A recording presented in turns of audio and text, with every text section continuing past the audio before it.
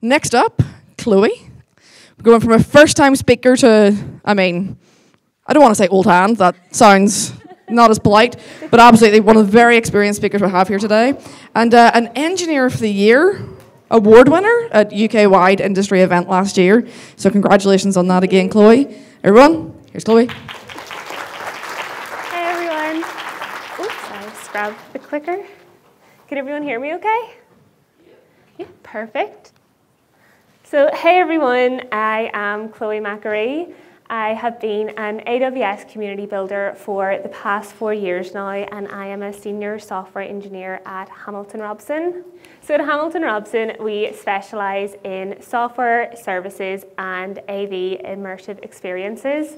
So, working with clients like X, Reddit, Salesforce, and Warner Brothers, it's really provided us with a unique mix of creative projects but also scalable enterprise projects.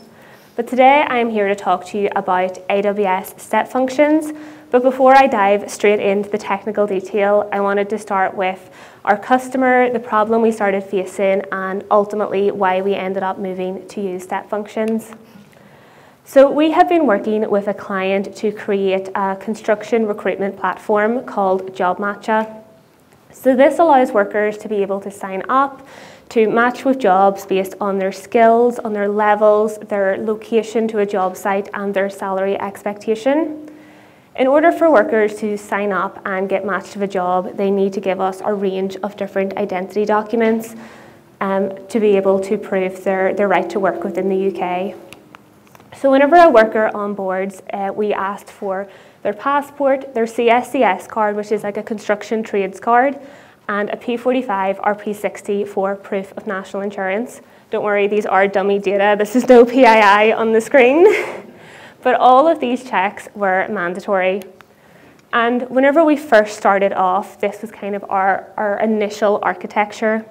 So a user would sign up either through the native application or the web portal, and once they uploaded their documents, we uploaded them to this SQS queue. And we then had this document validation service that would parse that, that queue and grab the pre-signed URLs to the documents that they had uploaded. You then see we had these individual lambdas that are responsible for the different document checks. So we had one fully responsible for passports, one for national insurance, and one for CSCS.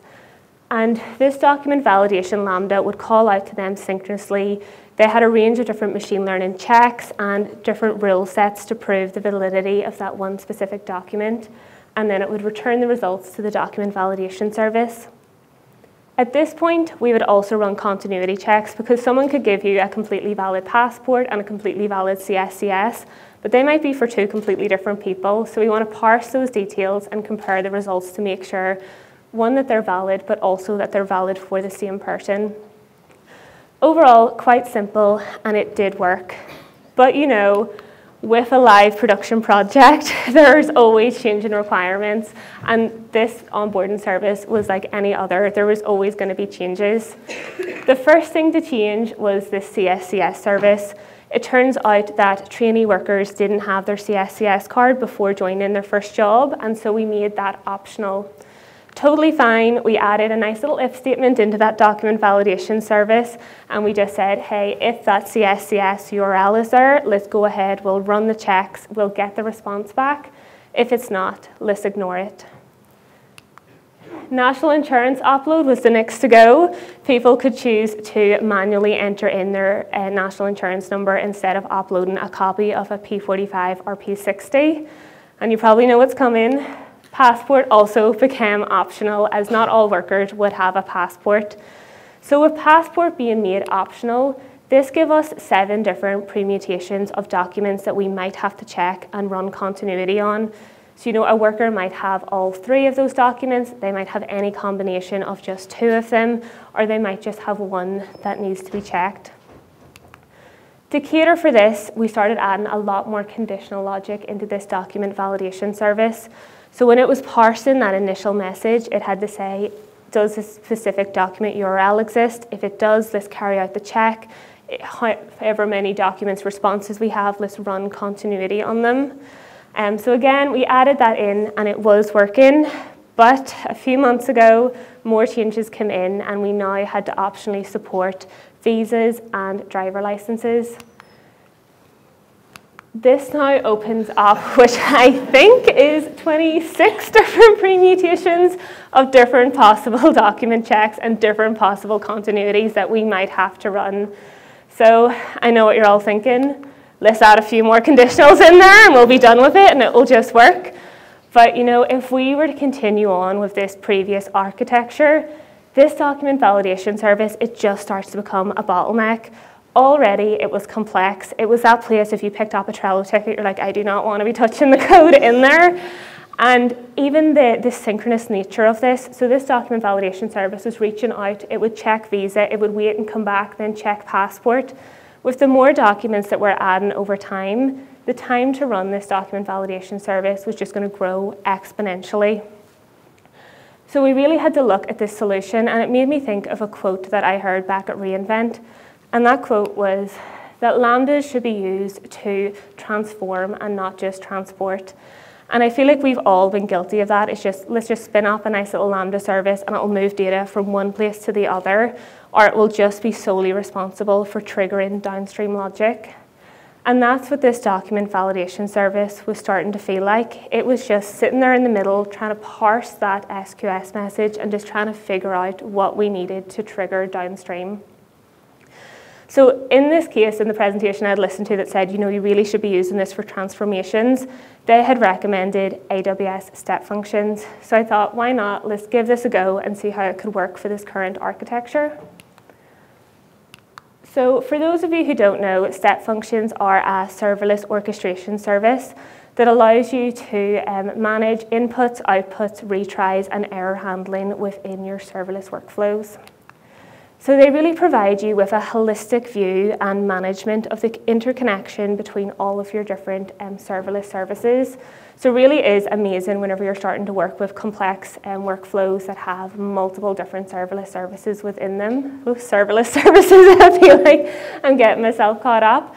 But they integrate with up to 220 different AWS services. They operate on a pay-per-use model and they're fully managed and scale automatically. So let's try to see how uh, we can move our current architecture into working with these um, step function state machines. So the step function state machines come with all of these different flow states out of the box. So the first one on the screen you'll see is the choice state. So that kind of works like your if else where you have these different branches where you can choose to go down one flow or go to the other. The next one we have is, oh, I just noticed I can look here instead of up here. The next one we have is the parallel state, and that allows you to run workflows um, in different branches in parallel. We then also have our map state, which allows you to run parallel workflows for each item in a data set. We have our pass state, which can act um, as a placeholder, or you can use that to transform your data. You have your wait state that allows you to introduce um, specific delays into your, your step functions and your state machines. And then at the end, we also have our pass and success states. So whenever I'm looking at these different flow controls, the way you can make different choices, you can go through different branches, it always makes me think of these, you know, the amazing quizzes at the back of a magazine where you start at the top with your really important input, you answer a bunch of questions, you move through all your different choices, and you find out that really important piece of information, and that is what reality TV show that you should star in. and when looking at this and all of the choices and decisions, it just made me think of that onboarding service. You know, we need to start with what documents we have from the user. We've got all of these questions to ask, you know, what job are they going to? What documents do we need to check? What documents have we got available? This is exactly what we needed to be doing. So let's try to draw one up, similar to, to these that could work for our solution. So we'll start with our input. The input for the step functions will be JSON. We will start with just passing in a unique identifier um, to start off um, the different transactions. We're going to pass in the URL, so there'll either be a URL present or it'll be null. The first thing that we're going to do is make use of that parallel processing state. So remember back to just the different flows that we have. This one allows us to run multiple different branches at the same time. And you know that was such a bottleneck with our old architecture, just waiting for every document to evaluate before we would start the next. So within our parallel processing state, we can start to make use of that choice state. So you can see each one of those branches now has their own little choice um, state flow added to it. So we start with, is the passport URL available? Yes or no? Do we have the CSCS URL? Yes or no? And do we have the national insurance image? Yes or no? And this now allows us to start to evaluate all of those checks at the exact same time. And we now have these branches where we can go in different directions. So in terms of a yes state, we're going to want to move on and invoke that lambda that is specific to that one document check. And kind of as I said, introducing step functions, you can integrate with 220 different AWS services. Lambda is one of them, so when you're building out your definitions, you're able to integrate um, directly by just invoking those lambdas in there. In the case where we don't actually have the image present, we're going to make use of that pass state. So kind of whenever you look at the, the yellow kind of dash border around there of the parallel state, everything will start to be invoked at the same time, but it won't actually move out of that parallel processing box until everything is completed. And in the case where we don't have an image, using that pass state just kind of acts as a placeholder and says, okay, we don't have anything, we'll just mark this as passed and we'll wait till everything else is completed and then we'll move on. So each of these lambdas are set up to return a results object. So this is going to return, is that document valid, true or false? It will return any validation errors. So these could be things like the document had high glare on it. We weren't able to read their details. It could be we couldn't read the expiry date or maybe that document is expired. And then we would also return the first name and last name um, if it was present on the document. Something that I haven't really mentioned is as you move from one flow to another, you can actually transform your data in transition. Uh, so each one of these lambdas are set up to return this results object, but we can actually select any different values that we want to move on to the next um, process in the state machine. What I wanted to do here was add them all into an array. This just gave me a bit more flexibility as at the end of this kind of parallel processing, we might have two results objects in that array, we might have all three, or we might only have one. And we're going to pass however many elements have come out of that parallel processing array into this compare results lambda. And it was just purely set up then to just loop through however many results it got given access to it would check has everything come back with a valid. If it has, let's start comparing those names and making sure that they're consistent. If it hasn't, let's go in and look at those auto validation errors. Let's join them all together and present them to the user of why these documents have failed. So I have a demo here. Let's hope it works. It is pre-recorded. I didn't want to risk a live one. Um, let me see. I so here you can see in the AWS console, we've got our state machine. Anything in blue is still processing. The green is what is being evaluated. You can see we don't have the national insurance document. We have checked CSCS. Passport is still pending, so we haven't moved on from our parallel processing box until that will actually fully complete, and then we can move on. We can click on any of the state boxes at any time and view the output. Again, no real PII. These are fake documents, so you will see they do fail. And once we have all of the documents that have ran, we pass them into that compare results and we can start um, to see the reasons why they've failed overall. The visualization is quite nice as you can very quickly at a glance see what documents ran for a particular user. If there was um, an error maybe thrown in there that I wasn't catching, they would light up as red. So a really nice visual way for debugging and, and seeing your state transitions as well. So I wanted to touch a little bit on developer tools when you're actually building out these orchestrations and how you can um, work with them. So I had mentioned your ability to transform data between the different steps. Um, and a really cool tool for doing that is this data flow simulator on the AWS console. It allows you to go in, paste in different objects, inputs, outputs, result paths, parameters, and it allows you just kind of play around with can I extract maybe two keys from that object and pass it on? Can I transform this? Can I get that nested value out? And it's just a really good tool for, for playing around with your data set to try and figure out um, how you manage that data as it moves between steps. So if you are new to them, if you're looking to try them out, I would definitely recommend this tool. It just makes it a little bit easier to, to understand how your data moves and flows throughout the machine. I also really recommend the VS Code plugin for AWS in VS Code. So we write all of our um, step function definitions in SAM, which is the serverless application model as our infrastructure as code. It allows you to write the definitions as ASL, which is Amazon State Language, just in a JSON file. And whenever you're actually writing the JSON, you can see the visualization of your state machine appear in your editor. This is really great, especially if you're adding a new branch on, you can see that visually appear. You know, if you start to see that appear right up at the top or the bottom, you know you've maybe added that into the wrong um, block of code. It's also really great if you're not seeing your diagram low, load, you know that maybe you've got a configuration issue in there and it just allows you to debug it that little bit more visually. You can create these through the AWS console just through the drag and drop of the services.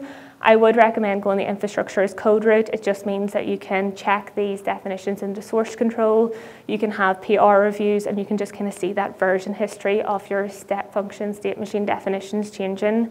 It also means you have that one definition file you can take from local into QA, into staging, and into production.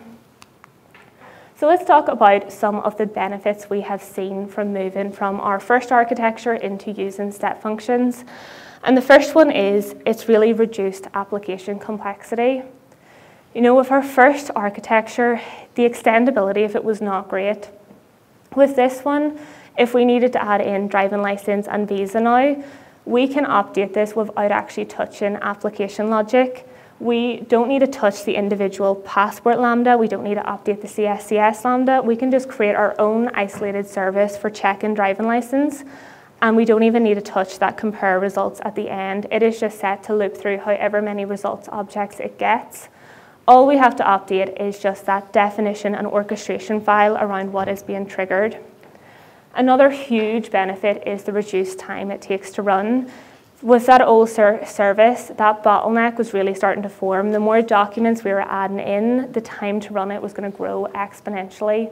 So being able to take advantage of parallel processing has been an absolute game changer for us. And lastly, the ability to debug. Whenever we kick this off for a worker, we pass in their worker ID, the timestamp, and it just means if anything goes wrong, we can go straight into the console and that video that I showed you, you're able to click in and just very visually see what documents ran for this worker. Let's click into their different documents, let's see their responses, and it just makes it a lot more visual instead of going through maybe hours worth of logs to try and figure out what happened and what went wrong. You're able to just kind of click in and see the exact outputs for exactly what ran for them. So being able to update our architecture into this kind of format, it's really extracted it so much from the core construction recruitment platform. It's completely operating independently now, and this has allowed the customer to realize that this document validation service actually has merit on its own, um, even to people outside of the construction industry who want to check identity documents and who maybe need to do that continuity check. So we have now partnered with the customer to bring this to the AWS marketplace where we're going to launch it as a SaaS offering. So it's just really cool to see updating an architecture to decouple something that much has now created an additional business opportunity for us. So to launch it on the marketplace, we do need to change a few things slightly. Um, you can see we have another service integration now at the top where we reach out to DynamoDB. This allows us to grab a customer's endpoint. We can pass that the whole way through the, the kind of branching and the trees. And at the end, we just reach out to them like a webhook integration with their document results. And hopefully they have something in place to consume that and store it and kind of use it how they want. You can see we do have driving license added now. Visa will be there soon, still on the backlog. Um, but it's just crazy to see we've went from supporting three documents to five in a couple of months. This time next year, that could be 10 documents, that could be 20 documents. So it really does go to show that whenever you're building things, businesses and customers are always going to be changing. And really, our success does lie in our ability to be adaptive and be able to ensure that our architectures can be extended um, for success.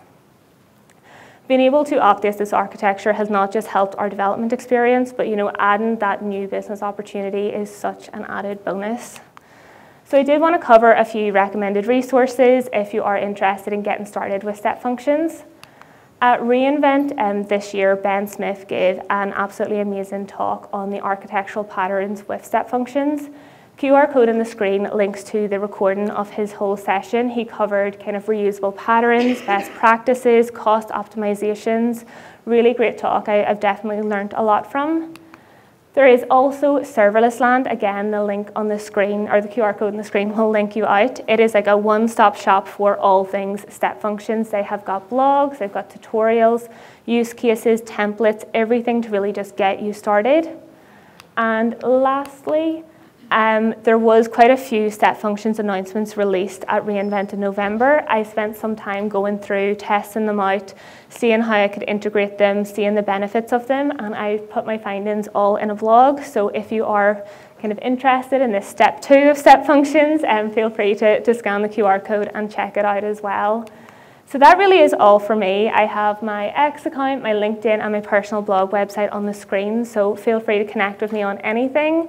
I'm happy to take questions here, or I will be around today if you want to just chat one on one. I love step functions, so happy to answer any questions on them. Thank you.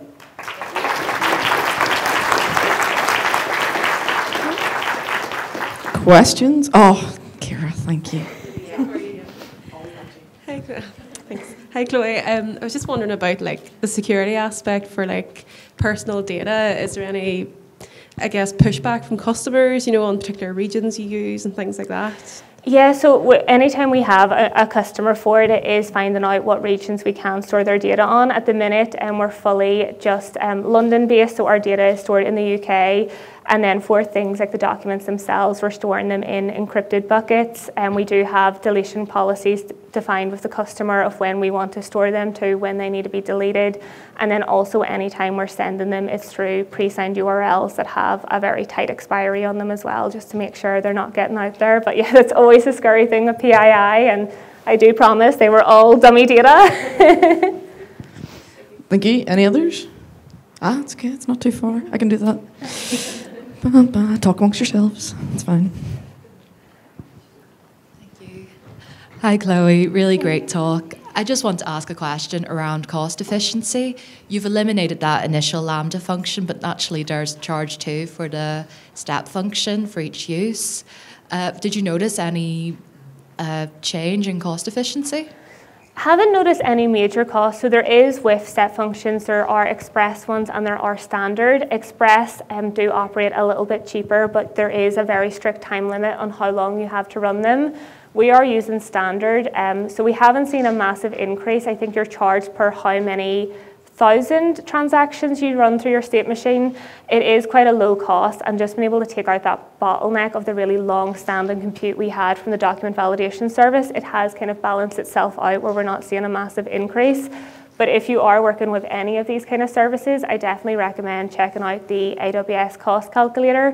You can kind of put in what your expected usage is, um, what type of flows you expect to be using, what services you're integrating with, and it can kind of just give you that better breakdown as well. Because I guess you're still paying for the individual Lambda compute, the database lookups, and it's just that added kind of orchestration around it. So anything at all, I would recommend using that cost calculator. And you know, with the cloud, always make sure your billing alerts are turned on. I think for probably a few people in here has been burned by that before. So, um, yeah, uh, that's I think all I've got.